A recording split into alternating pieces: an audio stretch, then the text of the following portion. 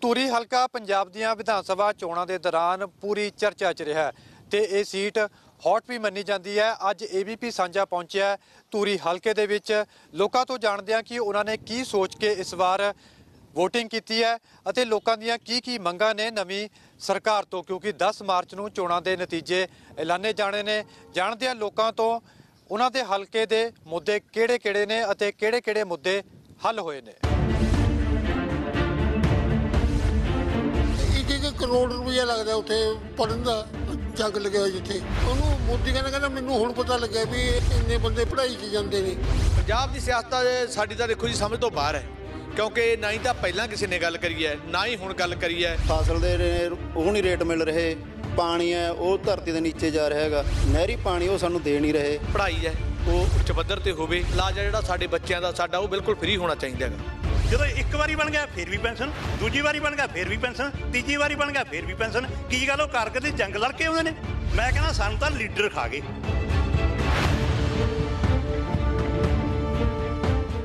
ਭੁੱਲਰਹੇੜੀ ਪਿੰਡ ਦੇ ਸੱਤ ਦੇ ਵਿੱਚ ਅਸੀਂ ਪਹੁੰਚੇ ਹਾਂ। ਧੂਰੀ ਹਲਕੇ ਦਾ ਇਹ ਪਿੰਡ ਹੈ ਇੱਥੋਂ ਦੇ ਲੋਕਾਂ ਦੇ ਨਾਲ ਗੱਲਬਾਤ ਕਰਦੇ ਹਾਂ। ਵੋਟਾਂ ਹੋ ਚੁੱਕੀਆਂ ਨੇ। ਨਤੀਜੇ ਦਾ ਇੰਤਜ਼ਾਰ ਕਿੰਨਾ ਕੁ ਹੈ? ਬਹੁਤ ਉਕਸਾ ਨਾਲ ਬਹੁਤ ਦਿਲਚਸਪੀ ਨਾਲ। ਕਿਉਂਕਿ ਇਸ ਸਾਡੇ ਹੱਕਾਂ ਦਾ ਸਾਡੇ ਆਉਣ ਵਾਲੀ ਪੀੜ੍ਹੀਆਂ ਦਾ ਆਉਣ ਵਾਲੇ ਮਸਲੇ ਜਿਹੜੇ ਹੈਗੇ ਨੇ ਉਹਨਾਂ ਨੂੰ ਲੈ ਕੇ ਅਸੀਂ ਬਹੁਤ ਬੇਸਬਰੀ ਨਾਲ ਉਡੀਕ ਕਰ ਰਹੇ ਹਾਂ। ਕਿਉਂਕਿ ਜਿਹੜੀ ਇਹ ਬਦਲਾਅ ਹੈ ਇਹਦੇ ਨਾਲ ਕਈ ਚੀਜ਼ਾਂ ਨੂੰ ਸਾਨੂੰ ਅ, ਹੁੰਗਾਰਾ ਮਿਲੂਗਾ। ਕਿਉਂਕਿ ਪਿਛਲੀਆਂ ਸਰਕਾਰਾਂ ਕੀ ਦੀਆਂ? ਦੋ ਪਾਰਟੀਆਂ ਦੀਆਂ। ਦੋ ਪਾਰਟੀਆਂ ਦੀ ਕਿ ਇੱਕ ਉਹ ਆ ਜਾਂਦੀ ਤੇ ਉਹ ਵਗ ਜਾਂਦੀ ਉਹ ਆ ਜਾਂਦੀ ਤੇ ਉਹ ਵਗ ਜਾਂਦੀ ਸੀ ਪਰ ਐਤਕੀ ਜਿਹੜਾ ਚੋਣ ਮੁਕਾਬਲਾ ਹੋਇਆ ਹੈ ਬੜਾ ਦਿਲਚਸਪ ਹੋਇਆ ਹੈ ਵਧੀਆ ਹੋਇਆ ਕਿਉਂ ਹੋਇਆ? ਕਿਉਂਕਿ ਜਿਹੜੀ ਜਾਗਰਤੀ ਹੈ ਸਾਡੇ ਲੋਕਾਂ ਦੇ ਵਿੱਚ ਆ ਗਈ। ਕਿਹੜਾ ਜਿਹਾ ਮੁੱਖ ਮੰਤਰੀ ਲੱਗਦਾ ਹੈ ਕਿ ਉਹ ਆਉਣ ਵਾਲੇ ਸਮੇਂ ਦੇ ਵਿੱਚ ਬਣ ਸਕਦਾ, ਜਿਹੜੀ ਤੁਹਾਡੀਆਂ ਮੰਗਾਂ ਨੂੰ ਸੁਣੇਗਾ? ਅਸੀਂ ਪਹਿਲ ਦੇ ਆਧਾਰ ਤੇ ਤਾਂ ਇਹ ਹੈ ਵੀ ਜਿਹੜੀ ਆਮ ਆਦਮੀ ਪਾਰਟੀ ਹੈ, ਭਗਵੰਤ ਮਾਨ ਹੈ। ਪਹਿਲਾਂ ਸਾਡੇ ਇੱਥੇ ਐਮਪੀ ਰਹਿ ਗਿਆ। ਉਹ ਆਮ ਲੋਕਾਂ 'ਚ ਆ ਕੇ ਬਹਿ ਜਾਂਦਾ ਸੀ। ਜੇ ਮੰਨ ਕੇ ਚਲੋ ਸਾਡੇ ਆਮ ਮੋਬਾਈਲਾਂ ਦੇ ਵਿੱਚ ਹੋਣਗੀਆਂ, ਮੇਰੀ ਵੀ ਆ ਸਾਡਾ ਡੇਰਾ ਸੌਲਦਾਸ ਬਾਬਾ ਇੱਥੇ ਆਏ ਸੀ ਜਦੋਂ ਧੰਨਵਾਦ ਤੌਰੇ ਤੇ ਆਏ ਤੇ ਉਦੋਂ ਵੀ ਮੇਰੀ ਆੜ ਲੱਗੀ ਸੀ। ਤੇ ਹੁਣ ਵੀ ਆਮ ਲੋਕਾਂ 'ਚ ਹੈ। ਹੁਣ ਮੈਂ ਆਮ ਕਰਕੇ ਆ ਸੁਖਵੀਰ ਬਾਦਲ ਦੀ ਰੈਲੀ ਸੀ ਧੂਰੀ। ਉੱਥੇ ਐਡੀ ਦੂਰ ਉਹਨਾਂ ਦਾ ਲਾਏ ਹੋਏ ਤੇ ਬਾਂਸ ਜੇ ਬੰਨ ਕੇ ਵੀ ਕੋਈ ਲਵੇ ਨਾ ਆਵੇ। ਕਿਉਂਕਿ ਬਾਈ ਨੇਮ ਤਾਂ ਸਾਡੀ ਗੱਲ ਕਿਸੇ ਨਾਲ ਹੁੰਦੀ ਨਹੀਂ। ਜ਼ਿਆਦਾ ਪਾਰਟੀਆਂ ਦੇ ਨਾਲ ਕੀ ਫਾਇਦਾ ਹੋਊਗਾ ਜਾਂ ਨੁਕਸਾਨ ਹੋਊਗਾ? ਫਾਇਦਾ ਹੈ ਜੀ ਸਾਨੂੰ ਆਸ ਹੈ ਵੀ ਇਤਕੀ ਆਪ ਵਾਲੇ ਆ ਜਾਣਗੇ। ਤੁਹਾਨੂੰ ਕੀ ਲੱਗਦਾ ਵੀ ਕਿਹੜੇ ਵੀ ਆਮ ਆਦਮੀ ਪਾਰਟੀ ਚੰਗੇ ਕੰਮ ਕਰ ਸਕਦੀ ਹੈ? ਪੰਜਾਬ? ਕਰ ਸਕਦੀ ਹੈ ਜੀ। ਉਹ ਕਿਉਂ ਲੱਗਦਾ? ਦਿੱਲੀ ਦੇਖ ਕੇ। ਵੀ ਦਿੱਲੀ ਦੇ ਸਾਰੇ ਕੰਮ ਚੰਗੇ ਕਰਦੇ ਨੇ ਬਹੁਤ ਵਧੀਆ ਕਰਦੇ ਨੇ। ਆਪਣੇ ਨਾਲੋਂ ਬਿਮਾਰੀਆਂ ਠਮਾਰੀਆਂ ਤੇ ਮੁਫਤ ਇਲਾਜ ਹੁੰਦਾ ਹੈ। ਹੁਣ ਜੇ ਇਹ ਚੰਗੇ ਕੰਮ ਕਰਦੇ ਆਪਣੇ ਬੱਚੇ ਨੇ 30 ਇੱਕ ਇੱਕ ਕਰੋੜ ਰੁਪਇਆ ਲੱਗਦਾ ਉੱਥੇ ਪੜਨ ਦਾ, ਜੰਗ ਲੱਗਿਆ ਹੋਇਆ ਜਿੱਥੇ। ਉਹਨੂੰ ਮੋਦੀ ਕਹਿੰਦਾ ਕਹਿੰਦਾ ਮੈਨੂੰ ਹੁਣ ਪਤਾ ਲੱਗਿਆ ਵੀ ਇਹ ਇੰਨੇ ਬੰਦੇ ਪੜ੍ਹਾਈ 'ਚ ਜਾਂਦੇ ਨੇ। ਤੈਨੂੰ ਸੁਰਤ ਨਹੀਂ ਉੱਥੇ 30 ਲੱਖ ਨਾਲ ਸਰ ਜਾਂਦਾ, ਇੱਥੇ ਕਰੋੜ ਤੋਂ ਉੱਪਰ ਮਾਰਦਾ ਹੈ। ਸਾਰੇ ਸਰਕਾਰ ਨੇ ਲੈ ਕੇ ਨੇ ਹੋਰ ਕੀ ਹੈ? ਬਿਲਕੁਲ ਯੂਕਰੇਨ ਵਾਲਾ ਮਸਲਾ ਇਹਨਾਂ ਨੇ ਦੇਖੋ ਗੱਲ ਕੀਤੀ ਹੈ। ਤੁਸੀਂ ਤਾਂ ਯੂਥ ਹੋ ਕਿ ਇਹ ਜਿਹੜਾ ਯੂਕਰੇਨ ਦੇ ਵਿੱਚ ਲੜਾਈ ਹੋ ਰਹੀ ਹੈ ਸਾਰਾ ਕੁਝ ਹੋ ਰਿਹਾ ਹੈ। ਕੀ ਇਹਦੇ ਵਿੱਚ ਭਾਰਤ ਸਰਕਾਰ ਜਿਵੇਂ ਵਿਦਿਆਰਥੀ ਉੱਥੇ ਫਸੇ ਨੇ ਭਾਰਤ ਦੇ ਵੀ? ਕੀ ਭਾਰਤ ਸਰਕਾਰ ਦੀ ਕੋਈ ਜ਼ਿੰਮੇਵਾਰੀ ਸੀ ਕਿ ਜੇ ਸ- ਸਿੱਖਿਆ ਨੂੰ ਲੈ ਕੇ ਜੇ ਇੱਥੇ ਚੰਗਾ ਹੋਵੇ ਤਾਂ ਸ਼ਾਇਦ ਨੌਜਵਾਨ ਉੱਥੇ ਬਾਹਰ ਹੀ ਨਾ ਜਾਂਦਾ? ਜੇ ਜੇ ਭਾਰਤ ਸਰਕਾਰ ਇਸ ਜ਼ਿੰਮੇਵਾਰੀ ਨੂੰ ਪੂਰੀ ਤਰ੍ਹਾਂ ਸਮਝਦੀ ਤਾਂ ਕੋਈ ਵੀ ਭਾਰਤ ਦੇ ਵਿੱਚੋਂ ਵਿਦਿਆਰਥੀ ਜਿਹੜਾ ਬਾਹਰ ਕਿਉਂ ਪੜਨ ਜਾਵੇ ਉਰੇ ਐਮਬੀਬੀਐਸ ਕਰਨ ਦੇ ਲਈ ਕਰੋੜਾਂ ਰੁਪਈਆ ਖਰਚ ਹੋ ਜਾਂਦਾ ਹੈ। ਜਦ ਕਿ ਉੱਥੇ 20 ਲੱਖ ਰੁਪਏ ਦੇ ਵਿੱਚ ਹੁੰਦੀ ਹੈ। ਉਹਦੇ ਵਿੱਚ ਵੀ ਪਤਾ ਲੱਗਿਆ ਕਿ ਕੁਝ ਏਜੰਟ ਖਾ ਜਾਂਦੇ ਨੇਗੇ। ਪਰ ਹੁਣ ਹੋਰ ਕੋਈ ਹੱਲ ਨਹੀਂ ਹੈਗਾ। ਜੇ ਕੋਈ ਵੀ ਹੈਗਾ, ਜੇ ਨੌਜਵਾਨਾਂ ਕੋਲੇ ਹੁਣ ਪੈਸਾ ਤਾਂ ਹੈ ਨਹੀਂ ਕਿਸੇ ਕੋਲੇ। ਗਰੀਬ ਪਰਿਵਾਰਾਂ ਦੇ ਬੱਚੇ ਨੇ। ਉਹਨਾਂ ਨੂੰ ਤਾਂ ਫਿਰ ਬਾਹਰ ਹੀ ਜਾਣਾ ਪਊਗਾ। ਜਦੋਂ ਭਾਰਤ ਸਰਕਾਰ ਕੋਈ ਜ਼ਿੰਮੇਵਾਰੀ ਸਮਝਦੀ ਨਹੀਂ। ਅਸੀਂ ਆਸ ਕਰਦੇ ਹਾਂ ਵੀ ਜੇ ਸੈਂਟਰ ਸਰਕਾਰ ਇਹ ਆਪਣੀ ਜ਼ਿੰਮੇਵਾਰੀ ਸਮਝੇ, ਤਾਂ ਜਿਹੜੇ ਲੋਕ ਨੇ ਭਾਰਤ ਦੇ ਉਹ ਬਾਹਰ ਕਿਉਂ ਜਾਣ? ਕਿਉਂ ਨਵਾਂ ਯੂਥ ਹੈ ਜਿਹੜਾ ਜਾਂਦਾ ਹੁਣ ਪੰਜਾਬ ਹੀ ਲਾ ਲਓ।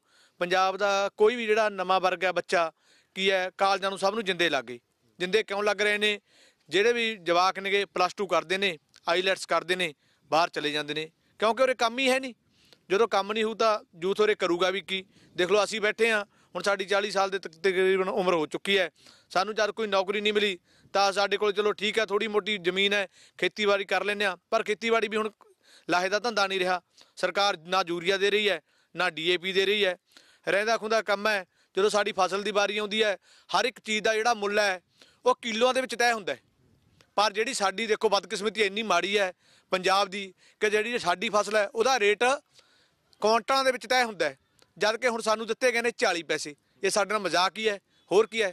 ਸਾਨੂੰ ਤਾਂ ਸੈਂਟਰ ਸਰਕਾਰ ਤੋਂ ਕੋਈ ਉਮੀਦ ਹੀ ਨਹੀਂ ਹੈਗੀ, ਕਿਉਂਕਿ ਦੋ ਵੱਡੇ ਘਰਾਣਿਆਂ ਦੀ ਜਿਹੜੀ ਟੀਮ ਬਣ ਚੁੱਕੀ ਹੈਗੀ, ਜੋ ਕਹਿੰਦੇ ਨੇ ਉਹੀ ਮੋਦੀ ਸਾਹਿਬ ਉਹ ਕਰਦੇ ਨੇਗੇ। ਤੁਸੀਂ ਪੰਜਾਬ ਦੀ ਸਿਆਸਤ ਨੂੰ ਹੁਣ ਕਿਵੇਂ ਦੇਖਦੇ ਹੋ? ਚੋਣਾਂ ਦਾ ਕੰਮ ਤਾਂ ਮੁਕੰਮਲ ਹੋ ਚੁੱਕਿਆ ਨਤੀਜੇ ਆਉਣ ਵਾਲੇ ਨੇ। ਪੰਜਾਬ ਦੀ ਸਿਆਸਤ ਕਿੱਧਰ ਵੱਲ ਜਾ ਰਹੀ ਹੈ? ਪੰਜਾਬ ਦੀ ਸਿਆਸਤ ਸਾਡੀ ਤਾਂ ਦੇਖੋ ਜੀ ਸਮਝ ਤੋਂ ਬਾਹਰ ਹੈ। ਕਿਉਂਕਿ ਨਾ ਹੀ ਤਾਂ ਪਹਿਲਾਂ ਕਿਸੇ ਨੇ ਗੱਲ ਕਰੀ ਹੈ ਨਾ ਹੀ ਹੁਣ ਗੱਲ ਕਰੀ ਹੈ। ਜ਼ਿਮੀਂਦਾਰ ਜਾਂਦਾ ਰਾਤ ਨੂੰ ਮੋਟਰਾਂ ਚਲਾਉਂਦਾ ਹੈ। ਕਿਸੇ ਵੀ ਸਰਕਾਰ ਨੇ ਚਾਹੇ ਤੁਸੀਂ ਲਾ ਲਓ ਅਕਾਲੀ ਨੇ ਚਾਹੇ ਕਾਂਗਰਸ ਨੇ ਚਾਹੇ ਆਪ ਵਾਲੇ ਨੇ ਕਿਸੇ ਨੇ ਇਹ ਨਹੀਂ ਕਿਹਾ ਵੀ ਜ਼ਿਮੀਂਦਾਰ ਦਾ ਪੁੱਤ ਜਿਹੜਾ ਰਾਤ ਨੂੰ ਮੋਟਰ ਚਲਾਉਣ ਨਹੀਂ ਜਾਊਗਾ ਦਿਨ ਨੂੰ ਲਾਈਟ ਆਊਗੀ। ਉਹਨੂੰ ਕੋਈ ਵੀ ਪਾਰਟੀ ਹੈ ਸਾਡੀ ਤਾਂ ਗੱਲ ਹੀ ਨਹੀਂ ਕਰਦੀ ਕੋਈ। ਸਿਰਫ ਮੁੱਦੇ ਨੇ ਨਾ ਹੀ ਕੋਈ ਜਵਾਕਾਂ ਦੀ ਨੌਕਰੀ ਬਾਰੇ ਗੱਲ ਕਰਦੀ ਹੈ।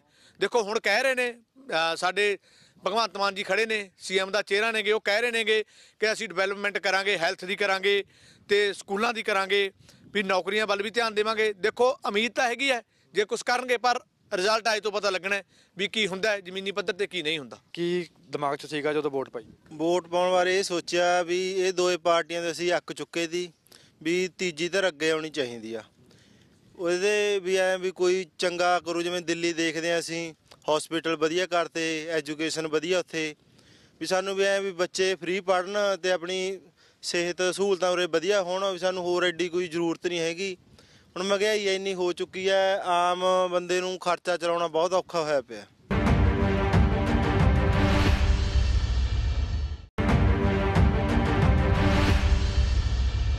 ਇਸ ਵਾਰ ਚੋਣਾਂ ਤੋਂ ਪਹਿਲਾਂ ਬਹੁਤ ਸਾਰੇ ਵਾਅਦੇ ਵੀ ਹੋਏ ਨੇ। ਤੁਹਾਨੂੰ ਪਹਿਲਾਂ ਵਾਅਦੇ ਸਾਰੇ ਯਾਦ ਨੇ ਜੀ ਕਿਸਾਨਾਂ ਦੀ ਕੋਈ ਗੱਲਬਾਤ ਹੋਈ ਆ ਕਿ ਕਿਸਾਨ ਅੰਦੋਲਨ ਵੀ ਉਸ ਤੋਂ ਪਹਿਲਾਂ ਹੋਇਆ ਸੀ ਜਿਹੜੀ ਤਮਾਮ ਪਾਰਟੀਆਂ ਸੀ? ਸਰਕਾਰ ਕੋਈ ਸੁਣ ਨਹੀਂ ਰਹੀ ਕਿਸਾਨਾਂ ਦੀ ਤਾਂ। ਲੋਕਾਂ ਨੇ 17 18 ਮਹੀਨੇ ਮਤਲਬ ਧਰਨੇ ਲਾਏ ਨੇ। ਤਾਂ ਉਹਦੇ ਵਿੱਚ ਕਿਸਾਨਾਂ ਨੇ ਮਤਲਬ ਸਾਰਾ ਆਪਦਾ ਯੋਗਦਾਨ ਪਾਇਆ ਹੈ, ਤਾਂ ਸਰਕਾਰ ਪਿਛਾਂ ਹਟੀ ਹੈ। ਕਿਸਾਨਾਂ ਦੀ ਗੱਲਬਾਤ ਹੋਈ ਆ ਜਦੋਂ ਚੋਣਾਂ ਹੋਈਆਂ ਨੇ? ਤਾਂ ਲੱਗਦਾ ਕਿ ਕਿਸਾਨਾਂ ਦਾ ਪੰਜਾਬ ਦੇ ਵਿੱਚ ਭਲਾ ਹੋ ਕਿ ਭਾਰਤ ਸਰਕਾਰ ਨੂੰ ਆਪਾਂ ਭਾਵੇਂ ਛੱਡ ਦਈਏ ਲੈ ਪਹਿਲਾਂ ਪੰਜਾਬ ਦੀ ਗੱਲ ਗਾਹਾਂ ਚੱਲੇ ਤੋਂ ਹੀ ਪਤਾ ਲੱਗੂਗਾ ਵੀ ਭਲਾ ਹੋਊਗਾ ਜਾਂ ਨਾ ਹੋਊਗਾ ਸਰਕਾਰਾਂ ਦੇ ਕੋਈ ਜ਼ਿਮੀਂਦਾਰਾਂ ਬਾਰੇ ਤਾਂ ਕੋਈ ਹੈ ਨਹੀਂ ਗੱਲਬਾਤ ਲੱਗਦਾ ਕਿ ਵਿਕਾਸ ਦੇ ਨਾਮ ਨੂੰ ਇਸ ਵਾਰ ਜਿਹੜੀਆਂ VOTING ਹੋਈ ਹੈ ਕਿਉਂਕਿ तमाम ਪਾਰਟੀਆਂ ਨੇ ਵਾਅਦੇ ਤਾਂ ਬਹੁਤ ਕੀਤੇ ਨੇ ਲੱਗਦਾ ਪੰਜਾਬ ਦਾ ਭਲਾ ਅ, ਇਹਨਾਂ ਵਾ- ਇਸ ਬਾਰੇ ਹੋਣਾ ਹੋਊਗਾ ਦੇਖੋ ਜੀ ਇਸ ਵਾਰ ਬਦਲਾਅ ਤਾਂ ਹਰ ਇੱਕ ਜਗ੍ਹਾ ਭਾਲਦੇ ਨੇ ਲੋਕ ਹੁਣ 70 ਸਾਲਾਂ 'ਚ ਇਸ ਵਾਰ ਲੋਕ ਥੋੜਾ ਜਾਗਰਤ ਹੋ ਗਏ ਕਿ ਹਰੇਕ ਮੁੱਦਾ ਕੋਈ ਵੀ ਹੈ ਉੱਥੇ ਹੀ ਖੜਾ ਹੈਗਾ। ਕੋਈ ਵੀ ਵਿਕਾਸ ਹੈ ਪੂਰ ਨਹੀਂ ਚੜ ਰਿਹਾ। ਵਿਕਾਸ ਦੇ ਨਾਂ ਤੇ ਕੋਈ ਚੀਜ਼ ਰਹੀ ਨਹੀਂ ਹੁਣ। ਤੁਸੀਂ ਫਸਲ ਦੇ ਉਹ ਨਹੀਂ ਰੇਟ ਮਿਲ ਰਹੇ। ਪਾਣੀ ਹੈ ਉਹ ਧਰਤੀ ਦੇ ਨੀਚੇ ਜਾ ਰਿਹਾ ਹੈਗਾ। ਨਹਿਰੀ ਪਾਣੀ ਉਹ ਸਾਨੂੰ ਦੇ ਨਹੀਂ ਰਹੇ। ਤੇ ਹਰਿਆਣੇ ਨੂੰ ਪਾਣੀ ਹਰਿਆਣੇ 'ਚ ਪਾਣੀ ਬਹੁਤ ਹੈਗਾ ਨਹਿਰਾਂ ਬਹੁਤ ਨੇ। ਤੇ ਪੰਜਾਬ 'ਚ ਕਿਹੜੀ ਨਹਿਰ ਹੈਗੀ? ਲਵੇ ਲਾਉਣੇ ਨਹਿਰ ਨਹੀਂ ਹੈਗੀ ਸਾਡੇ 20 ਅ, 50 ਕਿਲੋਮੀਟਰ ਤੇ। ਤੇ ਹੁਣ ਜੇ ਸਾਨੂੰ ਨਹਿਰੀ ਪਾਣੀ ਦੇਣ ਖੇਤਾਂ ਨੂੰ ਲੱਗੇ ਤੇ ਅਸੀਂ ਥੱਲੋਂ ਪਾਣੀ ਨਾ ਲਈਏ। ਬਿਜਲੀ ਤਾਂ ਨਾਲੇ ਬਿਜਲੀ ਬਚਦੀ ਹੈ ਪਾਣੀ ਬਚਦਾ ਹੈ ਤੇ ਉੱਪਰਲਾ ਪਾਣੀ ਯੂਜ਼ ਕਰੀਏ ਅਸੀਂ। ਤੇ ਸਰਕਾਰ ਨੂੰ ਇਹੀ ਹੈਗਾ ਕਿ ਆਉਣ ਵਾਲੇ ਸਮੇਂ 'ਚ ਸਾਨੂੰ ਪਾਣੀ ਨਹਿਰਾਂ ਦਾ ਵੱਧ ਤੋਂ ਵੱਧ ਦੇਣ ਤੇ ਫਸਲ ਦਾ ਵੀ ਰੇਟ ਦੇਣ। ਜੋ ਵੀ ਸਰਕਾਰ ਨਵੀਂ ਬਣੂਗੀ ਲੱਗਦਾ ਕਿ ਪੰਜਾਬ ਦਾ ਭਲਾ ਕਰੂ ਹਾਂਜੀ ਬਹੁਤ ਕਰੂ ਜੀ ਭਲਾ ਜੀ। ਬਾਕੀ ਤਾਂ ਜੀ ਜਥੇਬੰਦੀਆਂ ਹੀ ਕਰਨਗੀਆਂ ਜੀ। ਜੇ ਯੂਨੀਅਨ ਹੋਊਗੀ ਤਾਂ ਬਣ ਜੂਗਾ। ਕੋਈ ਮਰਜ਼ੀ ਹੋਵੇ ਜਥੇਬੰਦੀ ਜੀ। ਜਥੇਬੰਦੀ ਥੱਲੇ ਆਉਣਾ ਪਊ। ਫਿਰ ਮਸਲੇ ਹੱਲ ਹੋਣਗੇ ਕੋਈ ਮਰਜ਼ੀ ਸਰਕਾਰ ਆ ਜੇ। ਇਸ ਵਾਰ ਜਿਹੜੀ ਕਿਸਾਨਾਂ ਦੀ ਪਾਰਟੀ ਵੀ ਆਈ ਸੀ ਉਸ ਦਾ ਵਿਰੋਧ ਵੀ ਹੋਇਆ ਕਿਸਾਨ ਆਪਸ ਦੇ ਵਿੱਚ ਹੀ ਵੰਡੇ ਗਏ। ਉਹ ਤਾਂ ਜੀ ਅਗਲੇ ਦੀ ਡਿਊਟੀ ਸਮਝ ਆ ਜੀ ਹਰੇਕ ਬੰਦੇ ਦੇ ਆਪਾਂ ਕਿਸੇ ਨੂੰ ਮਾੜਾ ਨਹੀਂ ਕਹਿੰਦੇ। ਬਾ- ਬਾਕੀ ਜਥੇਬੰਦੀ ਨਾਲੇ ਚੱਲਣਾ ਜੀ ਕੰਮ। ਜਥੇਬੰਦੀ ਨੂੰ ਹੀ ਅੱਗੇ ਆਉਣਾ ਪਊਗਾ। ਹਾਂਜੀ ਹਾਂਜੀ ਕਦੋਂ ਮਰਜ਼ੀ ਆਉਣਾ ਪਵੇ ਜੀ ਹਾਂਜੀ ਬਿਲਕੁਲ ਆਉਣਾ ਪਊ ਜੀ। ਇਹ ਤਾਂ ਬਣਾ ਮਿਲਦੇ ਨੇ ਜੇ ਮਜ਼ਦੂਰ ਨੇ ਹੁਣ ਕਿਸਾਨਾਂ ਨਾਲ ਮਾੜੀ ਮੋਟੀ ਗੱਲ ਹੈ ਕਿ ਮਜ਼ਦੂਰ ਇਕੱਠੇ ਹੋਏ ਤਾਂ ਕਿਸਾਨ ਮਿਲ ਜੂ ਮਿਲ ਜੂ। ਗਾਹਾਂ ਇਹਨਾਂ ਦਾ ਬੜਾ ਵੱਡਾ ਨਾਲ ਰਿਹਾ ਜੀ ਇਹਨਾਂ ਨੇ ਮੈਂ ਧਰਨੇ ਤੇ ਸਾਰਾ ਕੁਝ ਦੇਖਿਆ। ਨਵੀਂ ਸਰਕਾਰ ਬਣਨ ਵਾਲੀ ਹੈ ਸਭ ਤੋਂ ਪਹਿਲਾਂ। ਤੁਹਾਡੀ ਮੇਨ ਮੰਗ ਕਿਹੜੀ ਹੈ ਕਿ ਕਿਹੜਾ ਕੰਮ ਪਹਿਲ ਦੇ ਆਧਾਰ ਤੇ ਹੋਣਾ ਸਾਡੀ ਜਿਹੜੀ ਖੇਤਾਂ ਦੀ ਬਿਜਲੀ ਹੈ ਜ਼ਿਮੀਂਦਾਰਾਂ ਦੀ ਉਹ ਕਦੇ ਵੀ ਹੈ ਜਿਹੜੀ ਉਹ ਦਿਨ ਨੂੰ ਦਿੱਤੀ ਜਾਣੀ ਚਾਹੀਦੀ ਹੈ। ਕਿਉਂਕਿ ਵੱਡੇ ਵੱਡੇ ਇੰਡਸਟਰੀ ਘਰਾਣਿਆਂ ਨੂੰ ਨਹੀਂ ਦਿੱਤੀ ਜਾਣੀ ਚਾਹੀਦੀ। ਉਹਨਾਂ ਨੂੰ ਰਾਤਾਂ ਨੂੰ ਦਿਓ। ਸਾਨੂੰ ਕਿਉਂ ਤੰਗ ਕੀਤਾ ਜਾਂਦਾ ਹੈ ਨਾਲੇ ਤਾਂ ਇੱਕ ਪਾਸੇ ਕਿਸਾਨ ਨੂੰ ਕਿਹਾ ਜਾਂਦਾ ਹੈ ਵੀ ਇਹ ਸਾਰੀ ਦੁਨੀਆ ਦਾ ਢਿੱਡ ਭਰਦਾ ਹੈ। ਪਰ ਉਸੇ ਕਿਸਾਨ ਨੂੰ ਤੰਗ ਕੀਤਾ ਜਾਂਦਾ ਹੈ। ਬਾਕੀ ਸਾਡੀ ਜਿਹੜੀ ਮੰਗ ਹੈ ਵੀ ਜਿਹੜੀ ਪੜ੍ਹਾਈ ਹੈ ਉਹ ਉੱਚ ਪੱਧਰ ਤੇ ਹੋਵੇ। ਬੱਚਿਆਂ ਨੂੰ ਅੰਗਰੇਜ਼ੀ ਸਕੂਲਾਂ ਦੇ ਵਿੱਚ ਪੜ੍ਹਨਾ ਨਾ ਪਵੇ, ਜਿਹੜੇ ਸਰਕਾਰੀ ਸਕੂਲ ਨੇ, ਇਹਨਾਂ ਦੀ ਵੱਧ ਤੋਂ ਵੱਧ ਜਿਹੜੀ ਸਹਾਇਤਾ ਕੀਤੀ ਜਾਵੇ, ਇਹਦੇ ਵਿੱਚ ਵਧੀਆ ਟੀਚਰ ਭਰਤੀ ਕਰੇ ਜਾਣ, ਤਾਂ ਕਿ ਜਵਾਕ ਜਿਹੜੇ ਨੇ ਸਾਨੂੰ ਪ੍ਰਾਈਵੇਟ ਸਕੂਲਾਂ 'ਚ ਲਾਉਣੇ ਨਾ ਪੈਣ। ਇਸ ਕਰਕੇ ਵੀ ਇਹਨਾਂ ਦੀ ਸਹੂਲਤ ਹੋਵੇ। ਬਾਕੀ ਰਿਹਾ ਜਿਹੜਾ ਸਾਡਾ ਹੈਲਥ ਮਹਿਕਮਾ, ਉਹ ਵੀ ਅਸੀਂ ਸਰਕਾਰ ਨੂੰ ਮੰਗ ਕਰਦੇ ਹਾਂ, ਜਿਹੜੀ ਬਣ ਰਹੀ ਹੈ, ਨਵੀਂ ਬਣ ਰਹੀ ਹੈ, ਕੋਈ ਵੀ ਬਣੇ, ਤੇ ਉਹ ਇਹ ਹੈ ਵੀ ਦੇਖੋ, ਹਰ ਇੱਕ ਦਾ ਜਿਹੜਾ ਇਲਾਜ ਹੈ, ਜਿਵੇਂ ਬਾਹਰਲੇ ਦੇਸ਼ਾਂ ਦੇ ਵਿੱਚ ਫ੍ਰੀ ਕੀਤਾ ਜਾਂਦਾ ਹੈਗਾ, ਉਹ ਸਾਤੋਂ ਚਾਹੇ ਟੈਕਸ ਲੈਣ ਸਾਨੂੰ ਟੈਕਸ ਦੇਣ ਦੇ ਵਿੱਚ ਕੋਈ ਦਿੱਕਤ ਨਹੀਂ। ਪਰ ਕੀ ਹੈ ਇਲਾਜ ਹੈ ਜਿਹੜਾ ਸਾਡੇ ਬੱਚਿਆਂ ਦਾ ਸਾਡਾ ਉਹ ਬਿਲਕੁਲ ਫ੍ਰੀ ਹੋਣਾ ਚਾਹੀਦਾ ਹੈਗਾ। ਤੇ ਸਾਨੂੰ ਮੈਡੀਕਲ ਸਹੂਲਤਾਂ ਨੇ ਜਿਹੜੀਆਂ ਇਹ ਵੀ ਦਿੱਤੀਆਂ। ਵਾਅਦੇ ਤਾਂ ਇਸ ਵਾਰ ਹੋਏ ਨੇ। ਕੀ ਲੱਗਦਾ ਕਿ ਪੂਰੇ ਹੋਣਗੇ? ਦੇਖੋ ਜੀ 70 ਸਾਲਾਂ ਤੋਂ ਤਾਂ ਕੋਈ ਵਾਅਦੇ ਪੂਰੇ ਹੋਏ ਨਹੀਂ। ਬਾਕੀ ਦੇਖੋ ਅੱਗੇ ਵੀ ਦੇਖਦੀ ਆ ਰਹੇ ਆ ਵੀ ਹੋ ਜਾਣ ਤਾਂ ਵਧੀਆ ਗੱਲ ਹੈਗੀ ਬਿਹਤਰ ਹੈਗਾ। ਤਾਂ ਪੰਜਾਬ ਦਾ ਜਿਹੜਾ ਯੂਥ ਹੈ ਉਹ ਰਹਿ ਜਾਣਾ ਉਰੇ। ਨਹੀਂ ਤਾਂ ਜੇ ਵਾਅਦੇ ਨਾ ਪੂਰੇ ਹੋਏ ਮੇਰੀ ਤਾਂ ਦੇਖੋ ਜਿੱਥੇ ਤੱਕ ਸਮਝ ਜਾਂਦੀ ਹੈ ਵੀ ਪੰਜਾਬ ਦੇ ਵਿੱਚ ਅਗਲੇ 5-7 ਸਾਲਾਂ ਦੇ ਵਿੱਚ ਤੁਹਾਨੂੰ ਕੋਈ ਨਵਾਂ ਯੂਥ ਦਿਖਾਈ ਹੀ ਨਹੀਂ ਦੇਣਾ ਸਭ ਬਾਹਰ ਚਲਾ ਜਾਣਾ। ਮੁਫਤ ਦੇ ਵਾਅਦੇ ਵੀ ਤਮਾਮ ਪਾਰਟੀਆਂ ਦੇ ਵੱਲੋਂ ਕੀਤੇ ਗਏ ਨੇ। ਕਿ ਲੱਗਦਾ ਕਿ ਮੁਫਤ ਦੇ ਵਾਅਦਿਆਂ ਨਾਲ ਪੰਜਾਬ ਦਾ ਭਲਾ ਹੋ ਸਕਦਾ ਨਹੀਂ ਜੀ ਦੇਖੋ ਮੈਂ ਤਾਂ ਬਿਲਕੁਲ ਇਸ ਚੀਜ਼ ਦੇ ਹੱਕ ਦੇ ਵਿੱਚ ਹੀ ਨਹੀਂ ਹੈਗਾ। ਕੋਈ ਵੀ ਚੀਜ਼ ਜਿਹੜਾ ਮੁਫਤ ਦਿੱਤੀ ਨਹੀਂ ਜਾਣੀ ਚਾਹੀਦੀ ਹੁਣ ਬਾਹਰ ਜਾਓ ਤੁਸੀਂ 16 16 ਘੰਟੇ ਨਵੀਂ ਪਨੀਰੀ ਕੰਮ ਕਰ ਰਹੀ ਹੈ। ਕਿਉਂ ਕਰ ਰਹੀ ਹੈ? ਕਿਉਂਕਿ ਉਹਨਾਂ ਦੀ ਮਿਹਨਤ ਦਾ ਮੁੱਲ ਪੈ ਰਿਹਾ ਜੇ ਹੁਣ ਤੁਸੀਂ ਉਰੇ ਕੰਮ ਦਾ ਕਰਾਉਣੇ ਹੋ 12 12 ਘੰਟੇ ਤਨਖਾਹ ਦਿੰਦੇ ਹੋ ਮਜ਼ਦੂਰ ਨੂੰ 9000 ਰੁਪਿਆ ਰੋਟੀ ਪਾਣੀ ਵੀ ਮਜ਼ਦੂਰ ਦਾ ਆਪਦਾ ਹੈ। ਉਹਦੇ ਵਿੱਚ ਮਜ਼ਦੂਰ ਕਰੂਗਾ ਕੀ? ਇਸ ਲਈ ਅਸੀਂ ਤਾਂ ਚਾਹੁੰਦੇ ਹਾਂ ਵੀ ਦੇਖੋ ਕੰਮ ਕੋਈ ਵੀ ਹੈ ਜੇ ਤੁਸੀਂ ਉਰੇ ਪੂਰੀ ਤਨਖਾਹ ਤੇ ਕੰਮ ਕਰੂਗਾ ਬੱਚਾ ਕੋਈ ਵੀ ਹੈ ਤਾਂ ਇਹਦਾ ਭਲਾ ਹੋ ਸਕਦਾ ਨਹੀਂ ਤਾਂ ਸਰਕਾਰ ਪਹਿਲ ਦੇ ਆਧਾਰ ਤੇ ਦੇਣਾ। ਹਾਂਜੀ ਰੋਜ਼ਗਾਰ ਪਹਿਲ ਦੇ ਆਧਾਰ ਤੇ ਆ ਕਿਉਂਕਿ ਜੇ ਰੋਜ਼ਗਾਰ ਹੀ ਨਹੀਂ ਹੈਗਾ ਤਾਂ ਪੰਜਾਬ ਦਾ ਨੌਜਵਾਨ ਕਰੂਗਾ ਕੀ? ਤੇ ਨਸ਼ਿਆਂ ਵੱਲ ਹੀ ਜਾਊਗਾ ਕਿਉਂਕਿ ਨਸ਼ੇ ਤਾਂ ਸਰੇਆਮ ਹੀ ਵਿਕ ਰਹੇ ਨੇ ਕਿਉਂਕਿ ਵਿਕਿਆ ਕੌਣ ਰਿਹਾ? ਸਰਕਾਰਾਂ ਵਿਕਿਆ ਰਹੀਆਂ ਨੇ। ਸਰਕਾਰਾਂ ਤੋਂ ਬਿਨਾਂ ਇਹ ਨਸ਼ਾ ਪੰਜਾਬ ਦੇ ਅੰਦਰ ਆ ਹੀ ਨਹੀਂ ਸਕਦਾ।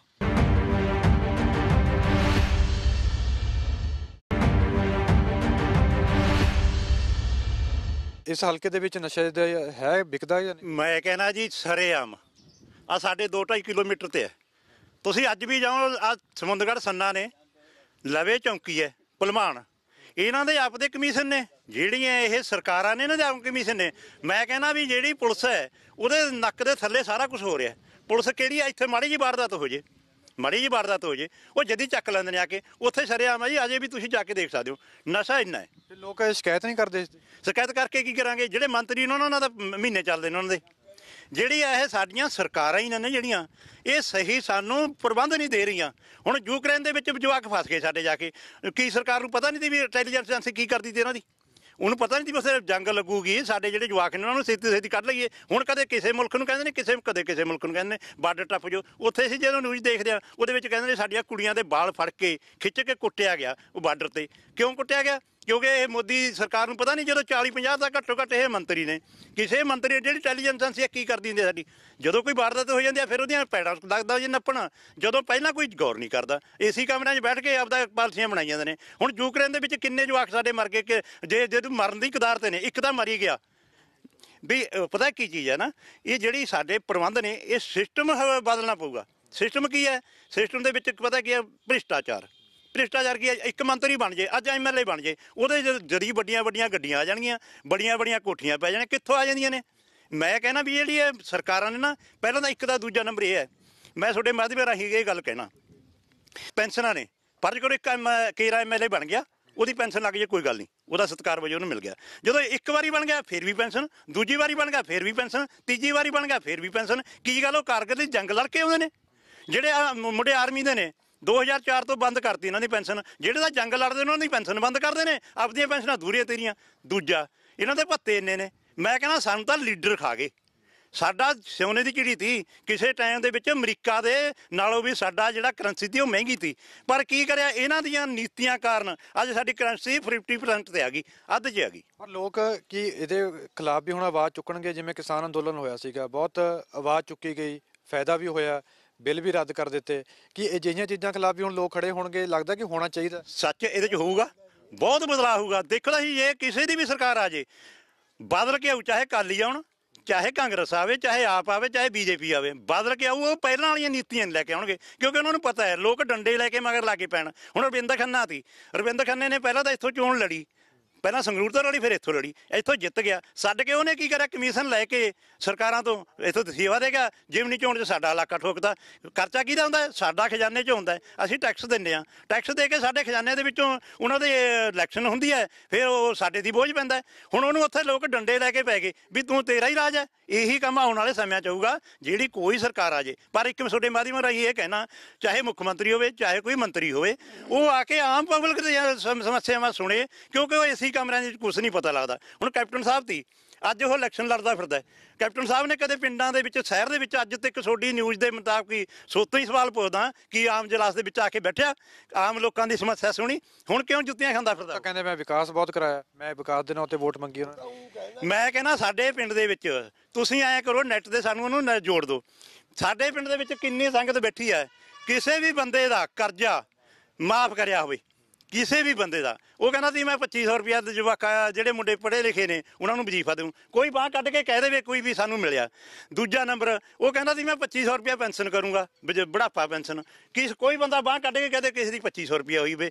ਕੁੱਲ ਲਾਰੇ ਨੇ, ਦੂਜਾ ਹੈਗੀ ਮੁਫਤਖੋਰੀ। ਮੈਂ ਕਹਿੰਦਾ, ਸਾਨੂੰ ਰੁਜ਼ਗਾਰ ਦੇਵੇ। ਰੁਜ਼ਗਾਰ ਦੇ ਕੇ ਸਾਡੇ ਜਿਹੜੇ ਵੀ ਹੈਗੇ ਨੇ ਯੂਥ ਦਾ, ਉਹ ਰੁਜ਼ਗਾਰ ਲਵੇ। ਹੁਣ ਫੈਕਟਰੀ ਦੇ ਵਿੱਚ ਜਾਂਦਾ, ਉਹਨੂੰ 10000 ਰੁਪਏ ਦਿੰਦੇ ਨੇ। ਫੈਕਟਰੀ ਵਾਲੇ ਕੀ ਕਰਦੇ ਨੇ? ਅੱਧਾ ਮਹੀਨੇ ਤੋਂ ਵੀ ਐਡਵਾਂਸ ਰੱਖਦੇ ਨੇ। ਜੇ ਕਿਸੇ ਬੰਦੇ ਨੂੰ ਨਹੀਂ ਚੰਗਾ ਲੱਗਦਾ ਕੰਮ, ਉਥੋਂ ਫੈਕਟਰੀ ਛੱਡਣੀ ਚਾਹੁੰਦਾ, ਫਰਜ਼ ਕਰੋ, ਉਹਦਾ ਉੱਥੇ ਮਨ ਨਹੀਂ ਲੱਗਦਾ ਵੀ 10000 ਨਾਲ ਮੇਰਾ ਕੋਈ ਬੰਦਾ ਨਹੀਂ। ਉਹ ਕੀ ਕਰਦੇ ਆ, ਜਿਹੜੀ ਫੈਕਟਰੀ ਹੈ ਉਹ ਡੇਢ ਮਹੀਨਾ ਕੰਮ ਕਰਾਉਂਦੀ ਹੈ ਇੱਕ ਮਹੀਨੇ ਦੇ ਪੈਸੇ ਦਿੰਦੀ ਹੈ। 15 ਦਿਨਾਂ ਦੇ ਐਡਵਾਂਸ ਰੱਖਦੇ ਆ ਕੀ ਕਾਨੂੰਨ ਬਣਾ ਨਹੀਂ ਸਕਦੇ?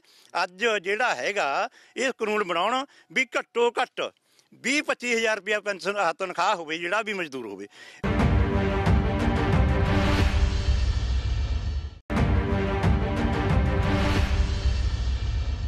ਕਾਂਗਰਸ ਦੇ 5 ਸਾਲ ਪਿਛਲੇ ਪਹਿਲਾਂ ਕਿਵੇਂ ਰਹੇ ਨੇ? ਕਾਂਗਰਸ ਦੇ ਬੁਰੀ ਹਾਲ ਹੈ ਜੀ ਹੋਰ ਕੀ ਹੈ? ਦਲਵੀਰ ਗੋਲਡੀ ਨੇ ਕਿਹਾ ਕਿ ਮੈਂ ਵਿਕਾਸ ਬਹੁਤ ਕਰਾਇਆ। ਨਾ ਉਹ ਕਹਿਣ ਨੂੰ ਤਾਂ ਮੈਂ ਕਹਿ ਦੂੰਗਾ ਜੀ ਸਾਰੇ ਪਿੰਡ ਦਾ ਰਾਜਾ ਕਹਿਣ ਨੂੰ ਉਹਦਾ ਕੀ ਗੱਲ ਹੈ ਉਹ ਐਂ ਦੇਖ ਲਓ ਸਾਰੇ ਪੰਜਾਬ 'ਚ ਦੇਖ ਲਓ ਇੱਕ ਥਾਂ ਵੀ ਨਹੀਂ। ਪਹਿਲਾਂ ਕਹਿਣਾ ਭੁੱਲ ਗਿਆ ਮੈਂ।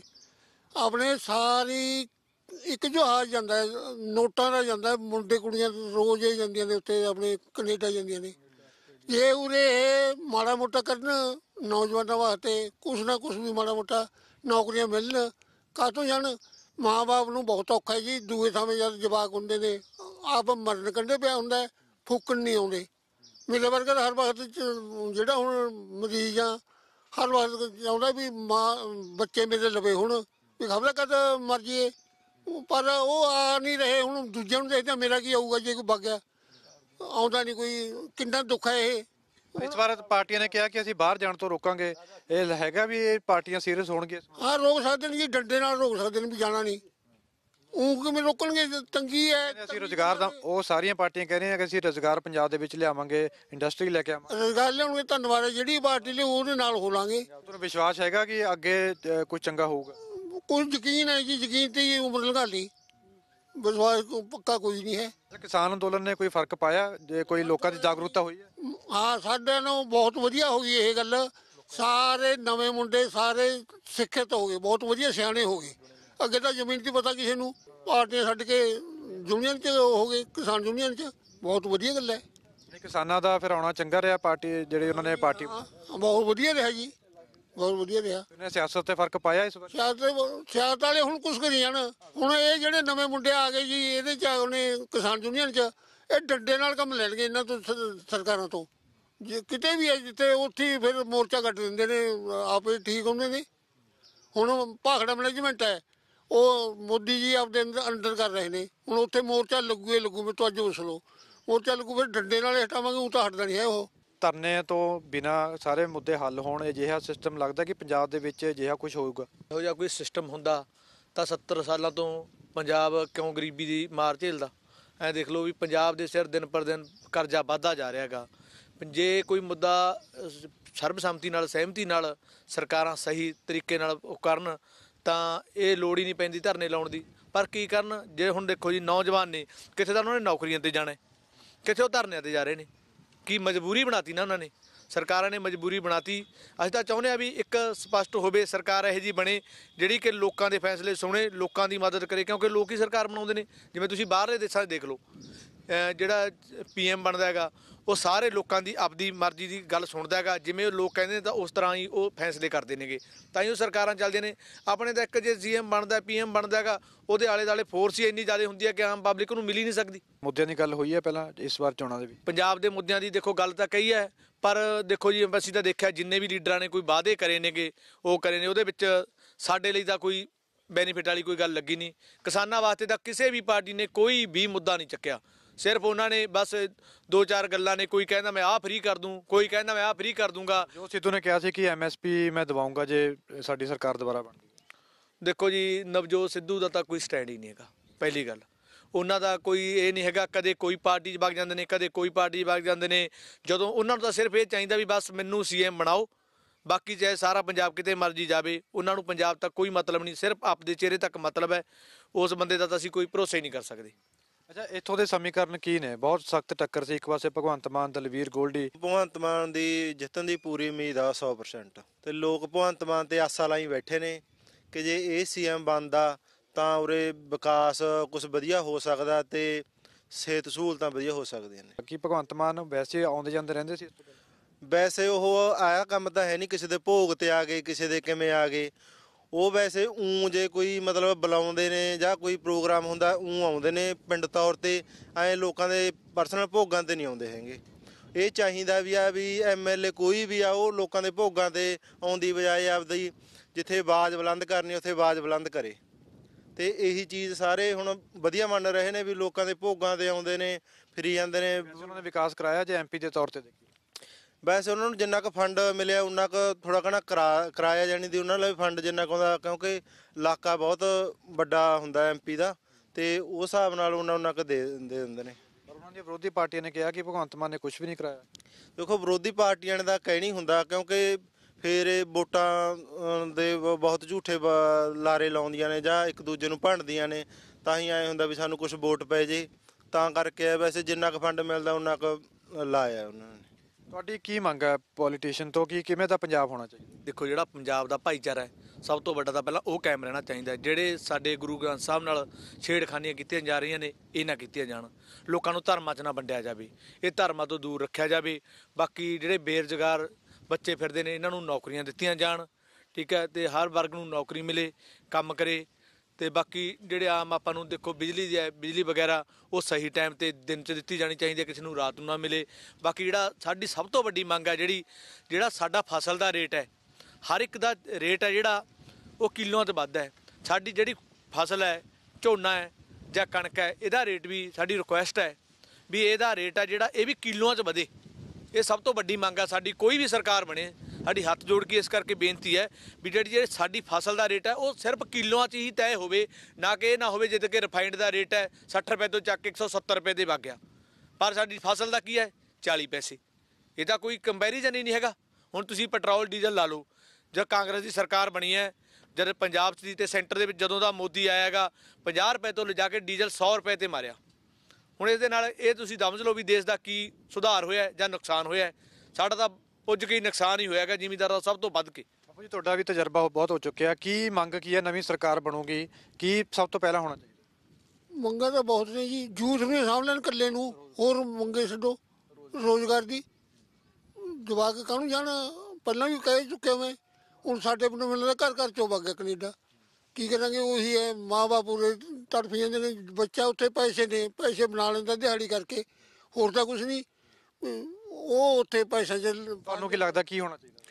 ਮੈਂ ਤਾਂ ਇਹ ਕਹਿਣਾ ਵੀ ਜਿਹੜੀਆਂ ਸਾਡੀਆਂ ਜਿੰਸਾਂ ਨੇ, ਹੁਣ ਇੱਥੇ ਕੀ ਹੈ, ਜਦੋਂ ਆ ਜਾਂਦੀ ਜਿੰਸ ਸਾਡੀ ਮੰਡੀ ਦੇ ਵਿੱਚ ਉਹ ਸਰਕਾਰ ਨੂੰ ਇਹ ਨਹੀਂ ਪਤਾ ਹੁੰਦਾ ਵੀ ਸਾਡੀ ਇੰਨੇ ਲੱਖ ਬੋਰੀ ਆਊ ਇੰਨੇ ਲੱਖ ਸਾਡਾ ਉਪਜ ਹੋਊਗੀ ਉਹ ਸਾਡਾ ਜਦੋਂ ਇੱਥੇ ਜੀਰੀ ਪਈ ਹੁੰਦੀ ਆ ਜਾਂ ਕਣਕ ਪਈ ਹੁੰਦੀ ਹੈ ਕਹਿੰਦੇ ਨੇ ਬਾਰਦਾਨਾ ਨਹੀਂ ਹੈਗਾ। ਕੀ ਸਰਕਾਰ ਦੀ ਇੰਨੀ ਨਾ ਲੱਕੀ ਉਦੋਂ ਬਾਅਦ ਕੀ ਆ ਚਾਰ ਦਸ ਦਿਨ ਪੈ ਰਹਿੰਦਾ, ਉਰੇ ਝੋਨਾ ਜਾਂ ਕਣਕ ਸਾਡੀ। ਉਦੋਂ ਬਾਅਦ ਕਹਿੰਦੇ ਨੇ ਜੀ ਬਾਰਦਾਨਾ ਫੇਰ ਆ ਗਿਆ, ਕਿਉਂਕਿ 10 ਦਿਨ ਸਾਨੂੰ ਇੱਥੇ ਬੈਠਿਆਂ ਨੂੰ ਲੰਘੇ, ਫਿਰ ਕਹਿੰਦੇ ਨੇ ਜੀ ਹੁਣ ਬਾਰਦਾਨਾ ਆ ਗਿਆ। ਕਿੱਥੋਂ ਆ ਗਿਆ? ਕੀ ਉਹਨਾਂ ਨੂੰ ਪਹਿਲਾਂ ਨਹੀਂ ਪਤਾ ਹੁੰਦਾ? ਅਸੀਂ ਉਮੀਦ ਕਰਦੇ ਆ ਵੀ ਜਿਹੜੀ ਆਉਣ ਵਾਲੀ ਸਰਕਾਰ ਹੈ, ਇਹ ਪੂਰੇ ਇਹੋ ਜਿਹੇ ਕੰਮਾਂ ਨੂੰ ਛੋਟੀਆਂ ਛੋਟੀਆਂ ਸਮੱਸਿਆਵਾਂ ਨੇ। ਇਹ ਸਨ ਹਲਕਾ ਧੂਰੀ ਦੇ ਲੋਕ, ਜਿਨ੍ਹਾਂ ਨੇ ਨਵੀਂ ਸਰਕਾਰ ਅੱਗੇ ਮੰਗ ਰੱਖੀ ਹੈ ਕਿ ਚੰਗੀਆਂ ਨੀਤੀਆਂ ਸਰਕਾਰ ਨੂੰ ਬਣਾਉਣੀਆਂ ਚਾਹੀਦੀਆਂ ਨੇ ਤਾਂ ਕਿ ਪੰਜਾਬ ਦਾ ਭਲਾ ਹੋ ਸਕੇ। ਫਿਲਹਾਲ ਇਸ ਪੇਸ਼ਕਸ਼ ਦੇ ਵਿੱਚ ਇੰਨਾ ਹੀ। ਮੈਨੂੰ ਤੋਂ ਇਜਾਜ਼ਤ। ਤੁਸੀਂ ਦੇਖਦੇ ਰਹੋ ਏਬੀਪੀ ਸਾਂਝਾ।